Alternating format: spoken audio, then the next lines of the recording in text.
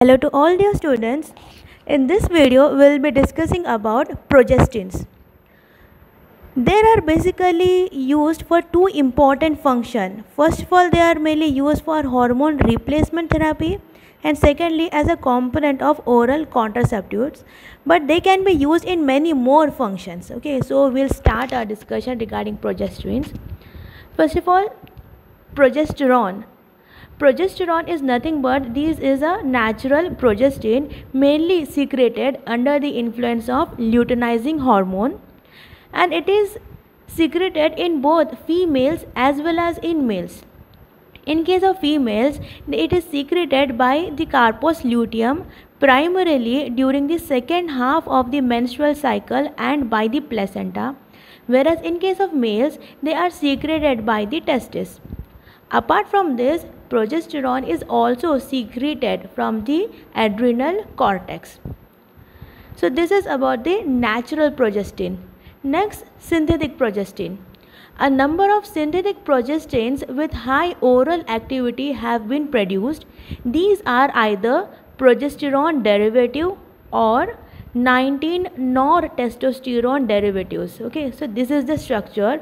The progesterone derivatives uh, they have got 21 carbon atoms whereas the 19 nor testosterone derivatives have got 18 carbon atoms. So we'll see something about progesterone derivatives. The examples are medro, medroxyprogesterone acetate, megestrol acetate, dihydrogesterone and hydroxyprogesterone caproate. The progesterone derivatives are almost pure progestins, have weaker anti-ovulatory actions and are used primarily as adjuvants to estrogens for hormone replacement therapy in postmenopausal women, threatened abortion, endometriosis etc. for selective progestational effect. So this is a little info about progesterone derivatives. Next, the most important one is the nortestosterone derivatives. We have got generation we have got total four generation for this thing the very older nortestosterone were developed by the in, in the year 1950 to 60s to which we call estranes so estranes gonna be the first generation of the progesterone and the examples are norethindrone lynestrenol and allyl estrenol okay. So the first generation of the progesterone are also known as estranes and later on what we did you know for the, into the estranes we substituted 19 ethyl. Okay so 19 ethyl substitution to estranes we got the second generation compound to which we call gonins and the example is levogestrel. Sorry levonorgestrel. Okay so levonorgestrel forms the second generation of progesterone Later on in the year 1980 to 90s, a number of other gonine compounds were being introduced to which we call third generation. And the examples are desogestrel, norgestimate and gestodene. Okay, so this is the third generation. And now presently we have got a newer compound to which we call as fourth generation. And the example is nomegestrol acetate okay so this is how we got the fourth generation of the progesterone. First generation is estrone second generation is gonins third and fourth generation we don't have a, a very proper name to them. Third generation we uh, we call it as other gonins and fourth generation to which we call it as newer compounds. So these are the fourth generation of progesterone now the important thing that you should remember regarding these four generation are as the generation increases the potency also increases.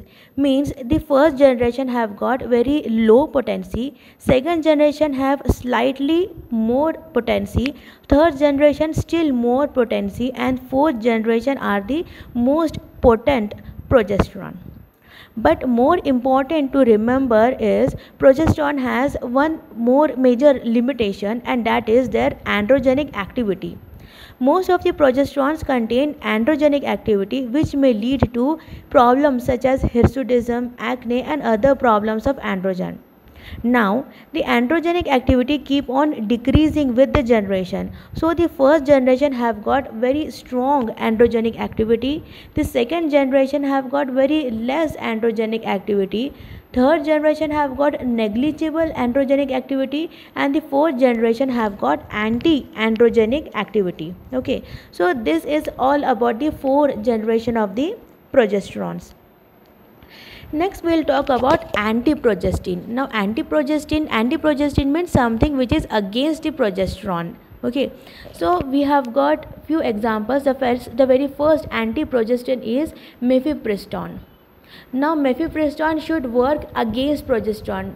Whatever progesterone is doing it should work exactly opposite to progesterone. So let us know what all this mifepristone does it is a 19 non-steroid with potent anti-progestational and significant anti-glucocorticoid and anti-androgenic activity. Okay, so mifepristone is not only anti-progestational but it is also have got anti-glucocorticoid and anti-androgenic activity also. Given during the follicular phase, its anti-progestin action results in attenuation of the mid-cycle GN surge from pituitary. That is gonadotropin surge from the pituitary slowing of follicular development and delay or failure of ovulation. Okay so after follicular phase ovulation should take place but because of mifepristone ovulation is either delayed or it may fail to happen. If given during luteal phase it prevents secretory changes by blocking progesterone action on the endometrium Later in the cycle, it blocks progesterone support to the endometrium and restrains pro, uh, uh, prostaglandin release from it. This stimulates uterine contraction. Mifepristone also sensitizes the myometrium to, uh, to prostaglandins and induces menstruation. If implantation has occurred, it blocks decidualization so that conceptus is dislodged, HCG production falls, Secondary luteolysis occurs, endogenous progesterone secretion decreases and cervix is softened. All these effects leads to abortion. Okay, so we know progesterone is very much required for maintenance of pregnancy and this, this drug mifepristone will do quite opposite to what progesterone works. Now, Mifepristone is a partial agonist and competitive antagonist at both A and B form of the uh, progesterone receptor. In the absence of progesterone, that is during ovulatory cycle or after menopause, it exerts weak progestational activity, induces predecidual changes. Therefore, it is now regarded as progesterone receptor modulator rather than pure antagonist the weak agonistic action is not manifest in the presence of progesterone. Okay so we can say progesterone is a kind of selective progesterone receptor modulator. Okay selective progesterone receptor modulator. That means they are agonist to progesterone receptor whenever progesterone is absent okay as such they are antagonists they are anti-progesterone they are anti-progestin but whenever progesterone is uh, completely absent when is uh, progesterone absent? During an ovulatory cycle or after menopause the progesterone is completely absent. And in that case if you are taking mifepristone it will start producing agonistic action. Okay so we can say it is as a selective progesterone receptor modulator Next we shall check out certain uses of mifepristone which you can remember from mifepristone only. So the first use is morning after pills okay it is used as a morning after pill. Mifepristone when taken uh, at a dose of 600 mg given within 72 hours of the intercourse interferes with implantation and is a highly effective method of emergency contraception. The subsequent menstrual cycle however is disturbed. Okay so it is used as a morning after pill. Another use is induction of abortion See, uh, 24 to 30 hours before attempting surgical abortion or induction of labor, mifepristol at a dose of 600 mg results in softening of cervix, that is cervical wrapping, and the procedure is facilitated. The induction of, of abortion is can be facilitated next it is also used as fibroid and especially uterine fibroid. It is also used in endometriosis. It is also used as progesterone receptor positive cancer like uh, like breast cancer and in meningioma.